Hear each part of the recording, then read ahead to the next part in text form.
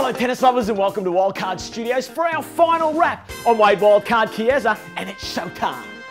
The big guns do battle tonight in the Oz Open men's final. One versus two. Djokovic versus Nadal. The winner takes home $2.3 million. Wherever you're watching it, it is going to be a cracker. The wildcard's going to be there and he's tipping Nadal to take home the cash.